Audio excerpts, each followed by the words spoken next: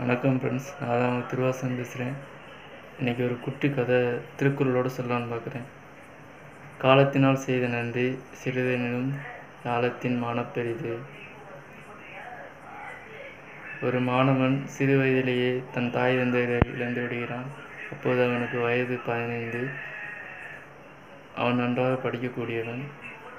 தனது படிப்பை தொடர யாரும் தொடர யாரும் உதவி செய்யவில்லை. தனது படிப்பை தொடர்வதற்காக பகுதி நேர வேலையாக மார்க்கெட்டிங் வேலை செய்து வருகிறான். அப்போது ஒரு நாள் நீண்ட தூரம் மா பயணம் மேற்கொள்ள வேண்டியிருந்தது. காலையில் சீக்கிரம் கிளம்பி நீண்ட தூரம் பயணம் செய்ததால் அவனுக்கு மயக்கம் வருது. மயக்கம் வருது. அப்போது பக்கத்தில் இருந்த வீட்டை கதவை தட்டுறான். அப்போ ஒரு அம்மா வர்றாங்க. அம்மா எனக்கு மயக்கம் வருகிறது. கொஞ்சம் தண்ணீர் இருந்தால் கொடுங்கள் என்று கேட்கிறான். உடனே அந்த அம்மா அந்த அம்மா ஒரு சொம்பு நிறைய பாலை கொண்டு வந்து கொடுக்குறாங்க. அதிக தாகத்தில் இருந்தனால ஃபுல்லாத்தையும் குடிச்சிட்டான். குடித்ததுக்கப்புறம் அம்மா நான் தண்ணி தானே கேட்டேன். நீங்கள் பால் வந்து கொடு பாலே கொடுத்துருக்கீங்க. இந்த உதவிக்கு நான் என்ன கையமாக செய்வேன்னு சொல்கிறா சொல்கிறான் அதுக்கு அந்த அம்மா சொல்கிறாங்க பரவாயில்ல என்கிட்ட பால் வீட்டில் இருந்துச்சு அதனால் கொடுத்தேன். போய் வா அப்படின்னு சொல்கிறாங்க சில காலங்கள் கழிந்து கழிஞ்சு போயிட்டு கழிந்தது.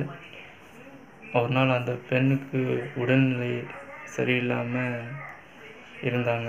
உடனே வந்து அவங்கள பக்கத்தில் இருந்த ஹாஸ்பிட்டலுக்கு கூட்டிகிட்டு போனாங்க. ஹாஸ்பிட்டலில் என்னென்னா அந்த அதை பார்த்து செக்கப் பண்ண ஹாஸ்பிட்டலில் இங்கே பார்க்க முடியாது.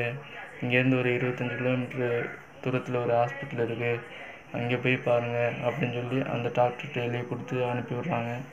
அங்கேயும் போய் பார்க்குறாங்க. அங்கேயும் சரியாகலை செக் பண்ணுறாங்க. ஒன்றும் இம்ப்ரூவ்மெண்ட் ஆகலை. பார்க்க முடியாதுன்னு சொல்கிறாங்க. நீங்கள் இங்கெல்லாம் பார்க்க முடியாது. Multi mess multi speciality hospital multi facility ஹாஸ்பிட்டலுக்கு தான் போய் போய் பார்க்கணும் அப்படின்னு சொல்கிறாங்க ஸோ அங்கே போய் மறுபடியும் அங்கே மல்டி ஃபெசிலிட்டி ஹாஸ்பிட்டல் கூட்டி போகிறாங்க அங்கே வந்து சீப் டாக்டர் வந்து செக்கப் பண்ணுறாங்க அந்த அம்மாவை பார்த்தோன்னே அந்த சீப் டாக்டர் வந்து சொல்கிறாரு இந்த அம்மாவை வந்து கண்டிப்பாக காப்பாற்றி ஆகணும். என்னென்ன என்ன செய்வீங்களோ ஏது செய்வீங்களோ கண்டிப்பாக அந்த அம்மாவை காப்பாற்றி ஆகணும்னு சொல்கிறாரு உடனே எல்லா டாக்டரும் பல முயற்சிகள் எடுத்து அந்த அம்மாவை வந்து ஒரு மாதத்தில் வந்து பூரணமாக குணமடைய செய்கிறாங்க அப்போ வந்து அவங்க வந்து குணமானோடனே டிஸ்சார்ஜ் பண்ண போகிறாங்க அப்போ வந்து டிஸ்சார்ஜ் பண்ணுற அன்றைக்கி ஒரு பெரிய பில்லை கொண்டு வந்து அந்த அம்மாட்ட கொடுக்குறாங்க. அந்த அம்மா அதை பில்லை பார்த்தோன்னே என்ன அஞ்சு லட்சமா அப்படின்னு பார்க்குறாங்க ஏன்னா பில்லில் அஞ்சு லட்சம் இருந்துச்சு. அஞ்சு லட்சம்னு ஒரு ஆச்சரியமாக பார்த்தாங்க.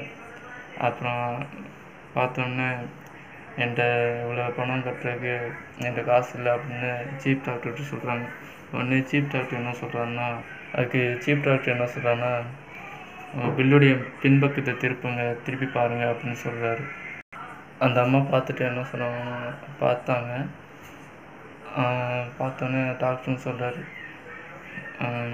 அதில் எழுதினது என்னென்னா நீங்கள் நீங்கள் நீங்கள் ஒரு சொம்பு நீங்கள் ஒரு சொம்பு பால் கொடுத்ததுக்கு இந்த அஞ்சு லட்சம் வந்து சமமாயிடுச்சு சரியாகி போச்சு அப்படின்னு சொல்கிறாரு சொல்லிவிட்டு அந்த அம்மா வீட்டுக்கு அனுப்பி வச்சுறாங்க.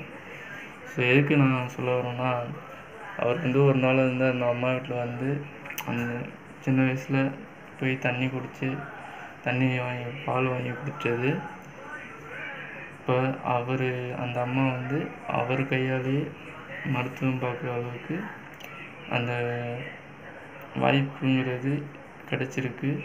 உதவி வந்து நம்ம எப்போ செஞ்சாலும் இந்த அதுக்கான பலன் வந்து பின்னாடி கிடைக்கும்னு இந்த குரலின் இந்த கதையின் மூலமாக அந்த குரலுக்கு நான் விளக்கம் சொல்லியிருக்கேன் சரிங்களா? அதே மட்டும் இந்த டாக்டர் யாரும் இல்லை.